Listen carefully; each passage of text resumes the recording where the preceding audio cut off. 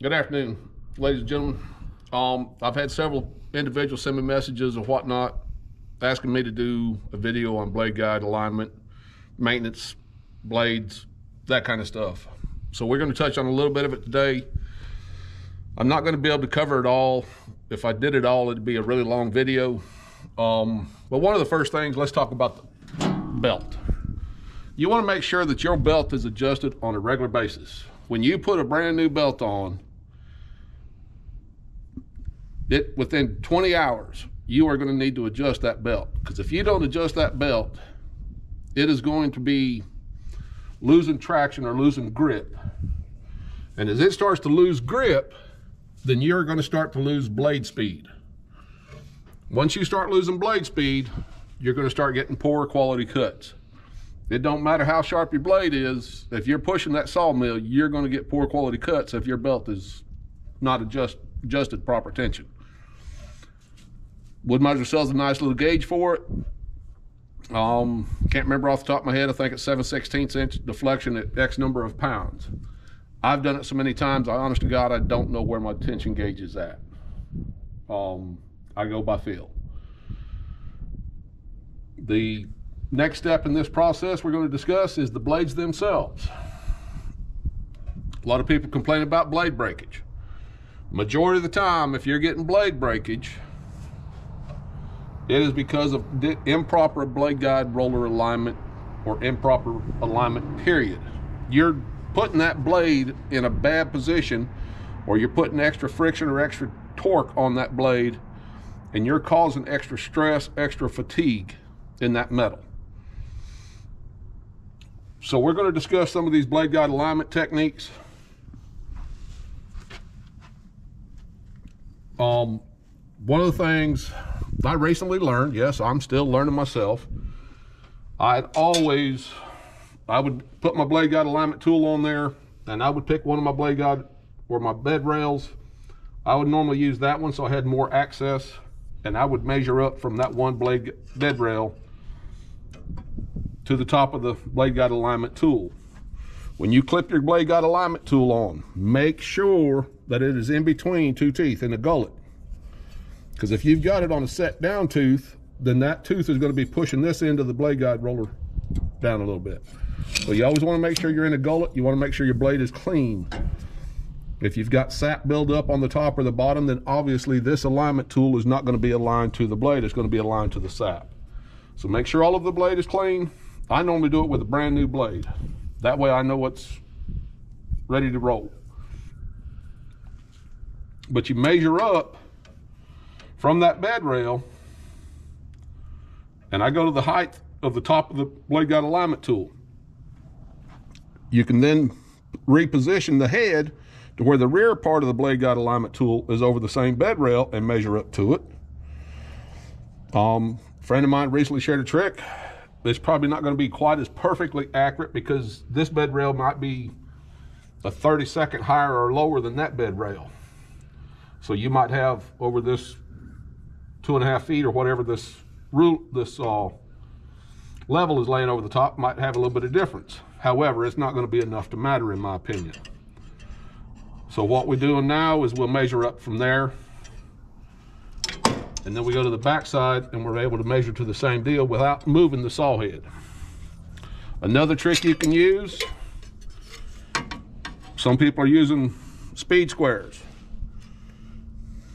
You know, you get everything dialed in and then you figure out what the height of that speed square and your ruler. Some people are using carpenter squares, but you can see the daylight in between the two items better than you can, some of us older folks that need reading classes can see the lines on a ruler. One of the worst things, in my opinion, that you can use is a dadgum tape measure. You've got flimsiness, you've got, depending on how you're pinching that thing, You've got all sorts of deflection, and it needs to be more accurate than a, a tape measure is. The last thing I would use for blade guide alignment is a tape measure. It's you ain't gonna get accurate enough. With this metal ruler, you can feel it being square to that bed, square to the level. You can just feel it being square. You can feel it this way or you can line it up this way. Whichever way you want to do it. But you can feel it being square instead of wondering if that tape is going straight up and down or not. Your adjustment bolts in the back.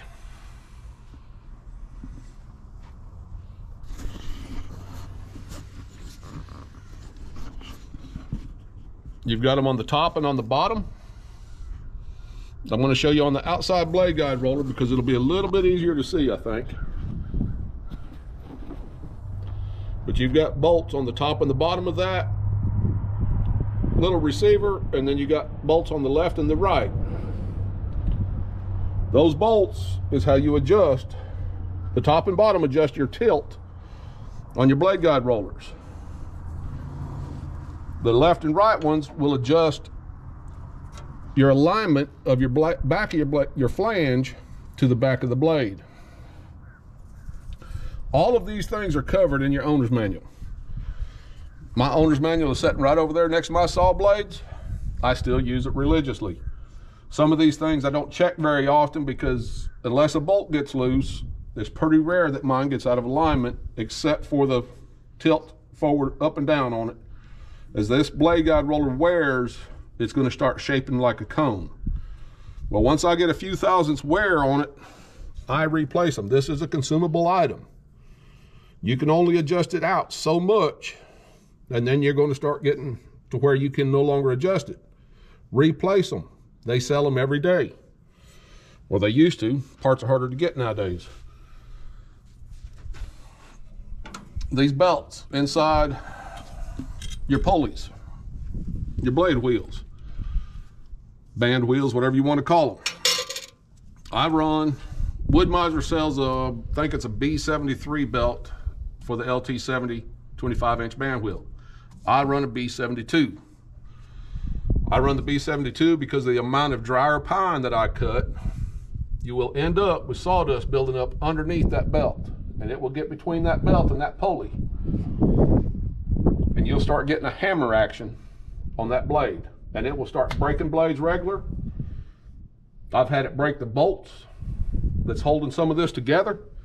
Well, when you start getting enough vibration in there that you're breaking bolts and breaking blades, it ain't the blade's fault. It's some point of an operator error.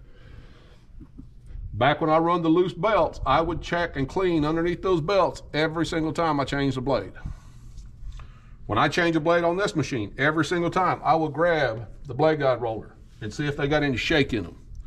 It'll tell you quick if a bolt is worked loose. On the outside blade guide arm or blade guide roller, according to the manual, you take it out all the way, bring it in about a half inch, and then you hook your guide on there or your blade guide alignment tool, and you do that very same alignment measurement and procedure just like we did on the inside blade guide. All of these factors come into play to make sure you're producing the best quality lumber. None of us like doing the hard work that it takes to produce lumber and have it coming out poor quality. You don't want to sell it, you don't want to use it, you don't want to be associated with it. It just makes you look bad. So producing the best quality lumber you could possibly produce requires maintenance from you on your sawmill and your equipment. Another thing that a lot of people are doing is they're trying to get too much life out of these blades. They're pushing these blades past dull. Once that blade gets to where it's dull, you probably should have changed it two or 300 board foot ago. Because what you're doing is putting extra stress and extra friction on that blade, making it cut while it's dull or forcing it to do things that it ain't, it's no longer sharp enough to do.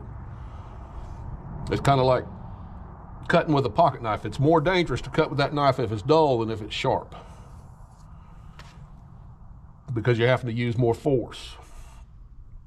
With this saw blade, when you start having to force it because it is dull, that tells you you should have already changed that blade. Because if you change them a little bit more frequently than you normally do or than what most people do, Number one, you'll get more sharpness, which will give you more blade life out of that blade. There's less stress been put in that blade. There's less stress been put on your sawmill. There's less friction, less wear and tear on the entire operation, on the entire piece of equipment. Your blade life will go up. Your sawing quality will go up. Your maintenance will go down. It's just one of those things in life that's going to make it a whole lot easier. One of the things on this these adjustment bolts here, on these top bolts and bottom bolts especially,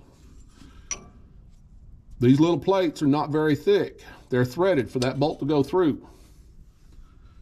They like to strip out if you over tighten them. Don't ask me how I know. I have a tendency to put the cowabunga on everything.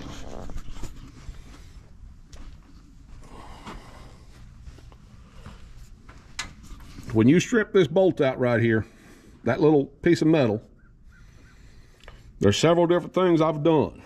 Number one, I've re-drilled it and re-tapped it and put the next size bigger bolt in it. I've also taken and spot welded this nut onto it, which will then allow you, you won't have a lock nut on it no more, but at least it'll still have threads and it can get you by until your next part comes in. But there's that's one of the tricks I've used to get by with things.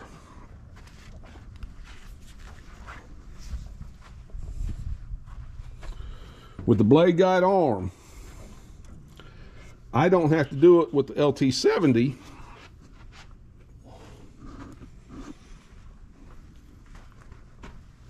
but with the LT40s and whatnot, back when I had an LT40, I would utilize Actually got by better with a uh, can of WD-40 because it has a small red lid on it. But I would center that blade right over the top of it to where I could just barely see daylight through it with the blade guide all, all the way out. Then I'd reposition the can to the center or to the inside. And as you're bringing that blade guide arm, you pay attention to how far that blade is above or below that, that can. And that'll let you adjust your blade guide tilt this away. On the 40s and the, I'm not sure on the 35s, I've never been around one.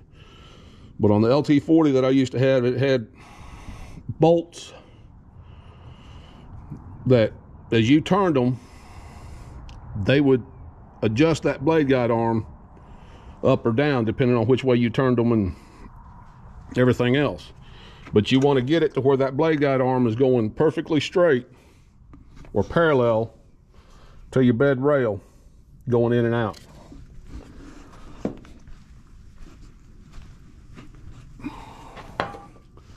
With the LT40s, um, back when I had one, I run a B56 belt on the pulleys or the blade guide or the blade wheels. The B56 fit a lot tighter. I didn't have to fight getting the sawdust inside of them. Um, I know several people that talk about they don't have the problem with the sawdust getting under the belts, but some of those, most of those individuals are running a little bit older mills, even older than mine, and they don't have what we call the high performance blade guides. Without these, I think these high performance blade guides has the tendency to make the sawdust flare and get up underneath that. I don't know that. I'm not an engineer. That's what I'm going to blame it on.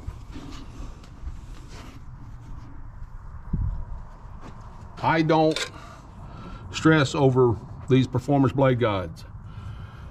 I don't know personally.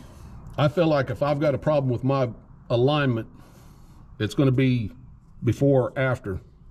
It's either before the blade guide, performance blade guide on this side, or after it on this side. It's either this blade guide roller or that blade guide roller, or some other form of the alignment is affecting that blade. Because if those blade guide rollers are right, that blade, in my opinion, should never touch that high performance blade guide.